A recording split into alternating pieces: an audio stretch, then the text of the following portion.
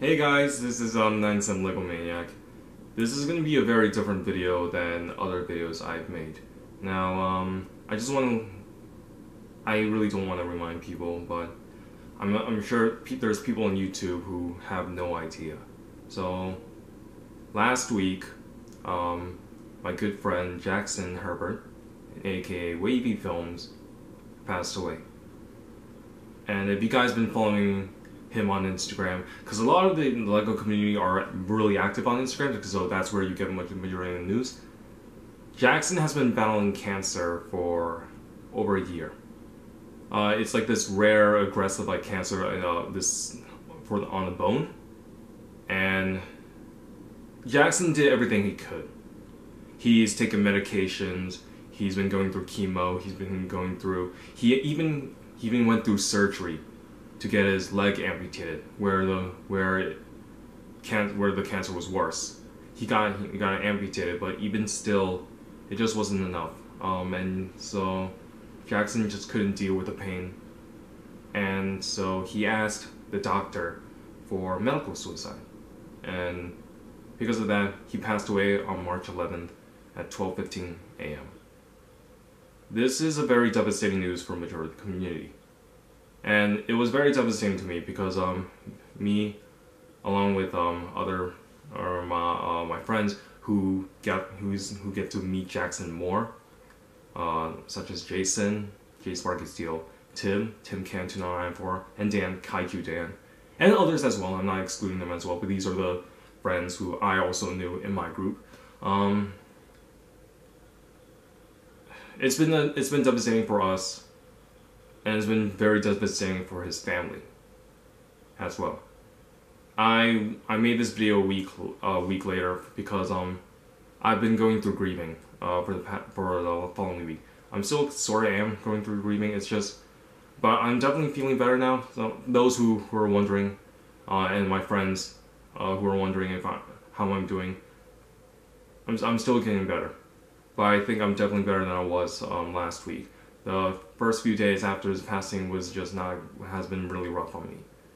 Especially um, for my other friends as well and especially his family too.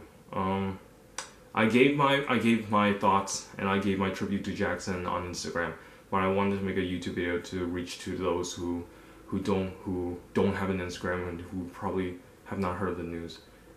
Um, i just wanted i just wanted to make a video tribute to jackson and talk about more that I couldn't say on Instagram um, at all because of the because of the character limit there. I couldn't type up everything what I wanted to say, so I wanted to speak about it here.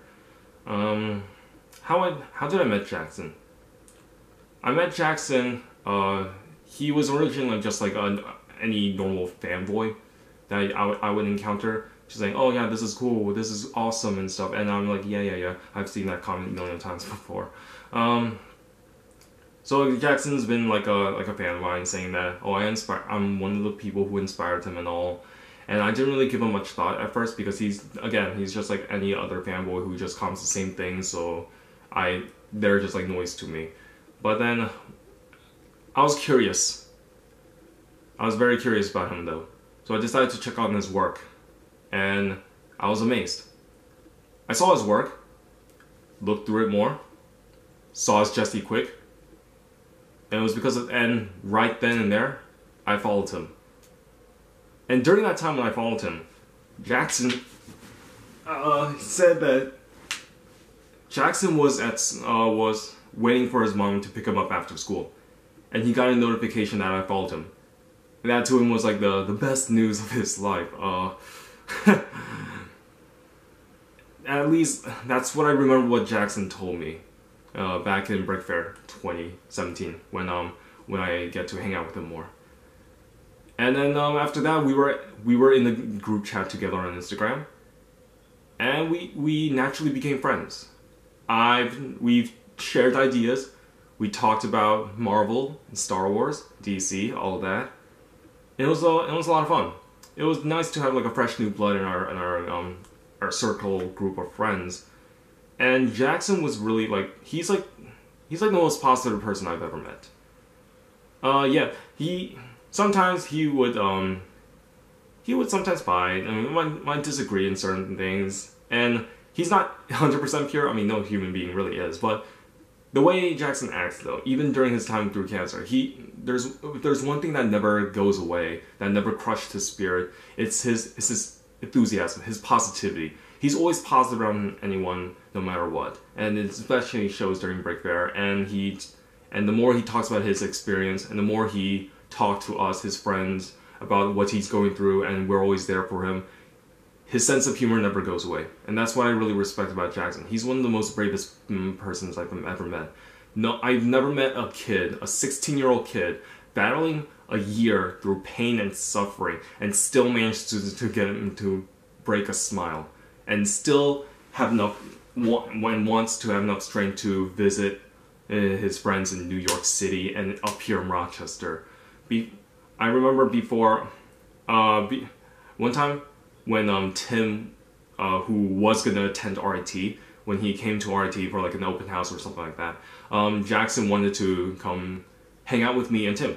And that's what we did, and we saw Ready Player One together. That was a lot of fun. I believe this was like tw- early 2018 too. So literally a few months before he got cancer. Um,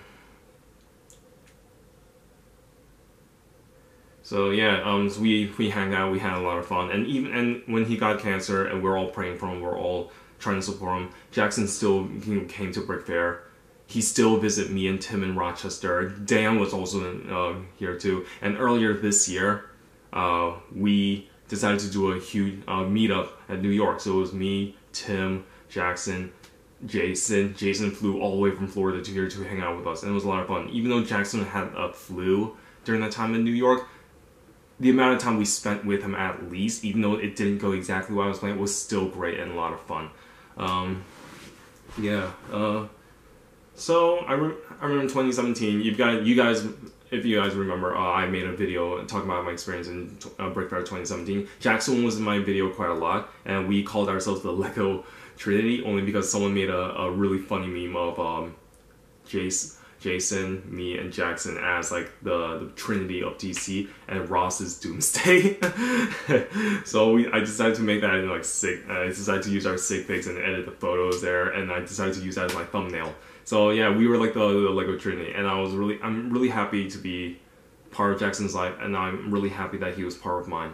Jackson, even though Jackson has been like, hey, Yale, you've been an inspiration to me. To be on, to be honest, Jackson wasn't an inspiration. He was my inspiration he taught me he taught me a lot about myself. And yeah he, was just like just his enthusiasm his attitude really struck us. And it really and he left a huge impact in the community. He inspired so many countless others. And even though he was not even though he himself doesn't consider himself a big customizer like aaron ross and the others like that I honestly disagree with that. I think he's. I think to me Jackson is up is is way above him because of the because of his story because of his trial. It that that just spoke to a lot of people in the community, and um, yeah. I'm glad I, I, I, I mean, right now I'm, I'm really trying not to tear up. I think I'm doing better than compared to last week. Like, cause if I filmed this video uh, last week, shut up phone. Um, if I filmed this video last week, I would be bawling in tears and I would be too embarrassed to upload it. So that's why, and I wouldn't be able to speak coherently. I'm not speaking coherently right now. This isn't just me just go rambling without a script. So I know there's a lot of people who are still grieving, and and those who know Jackson personally, whether you're a family member or you're also a friend of his. Yes, we we shouldn't be. We shouldn't. It's okay to be sad it is totally fine. It's okay to go talk to someone about this, and even whether you're you're you think you're over it, but you'll probably cry about it later, or you're still grieving about it now. It's okay, let it out. But in the end, we should remind ourselves what Jackson has done for us, the impact he has left in our lives, in the community, in the in his in his circle group of friends, in his personal life, in, in his school, in well, within his family members. We should never forget about that. We should cherish all the memories we have of him. I certainly do. I remember all. I remember, and I still cherish the figures that he made for me, and his family was actually very kind enough to contact me along with his other friends to give out a few of his cust- give out some of his customs. And if you guys are wondering what customs I want to take, um, I offered I offered to give them money by the way because I wanted because I thought it would be a good idea to give them to pay for Jackson's figure so they can use that money either for his funeral expense or probably or donate to like um cancer research or something like that. Uh, they offered, but they said no, we won't. We won't make you pay for anything. So I asked them for maybe a, if if he still has it, his Jesse Quick because that was the figure that I found him. So I so that has a special place in my heart.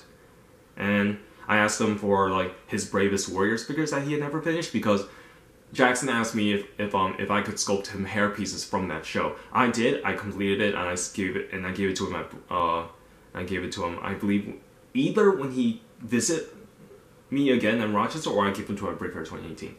Um whatever. Um Jackson unfortunately never finished that project. So what I want to do, I want to finish it for him. So I'm gonna add Bravest Warriors in my list and to honor him and and um and cherish those figures.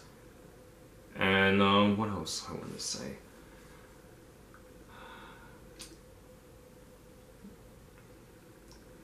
You know, in, in the end, guys, we don't really get to choose how much, how long we can spend time with the person we care about. Because we, who knows what can happen. So my advice to you guys is, whoever is your close one, spend time with them as much as possible. You'll never know you will never know when those um those time uh, when you you'll never have that chance again. We don't get to choose who we were are friends with, who we might fall in love with, or anything. But when bad things happen, and when they certainly do, that should not diminish the good times we spend time with them and what we learn about ourselves. I know a lot of us are really sad that we won't see anything, we won't see his future content, or we won't see his finished work. But instead of fretting of what we won't see from him anymore, smile that it happened. Be happy the fact that he he made he made his mark out there in the community. His work with his work will always be there no matter what. And the figures that you like from him and that made you inspire, that figure will never go away, guys. It will always be on his Instagram, his Flickr, or whatever social media he has. And so just cherish that. Cherish the memories you have. And, you know, just smile at the fact that Jackson was able to share his work and to inspire others. I think that's something that Jackson would want us to remember him. He doesn't want us to feel sorrow. He would want us, he we, he wants us to be happy that A, he's no longer suffering anymore.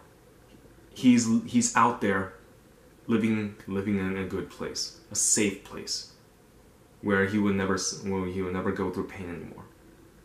And B, he wants to smile the fact that the fact that it, his work is out there and the fact that if if you guys are inspired by Jackson, share that with others. Jackson get I'm clearly Jackson touched your lives. He certainly touched my life, and if he touched yours, whether if you, if you just know him, um, if you if you're really good friends with him, or you're just or you're just a fan of his work, either way, share that experience that Jackson gave to you with others. That's something that Jackson would want, and I think that's something that we should, we should all as a community should definitely do.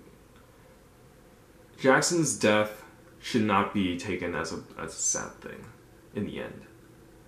It's okay to be again, like I said, it's okay to be sad.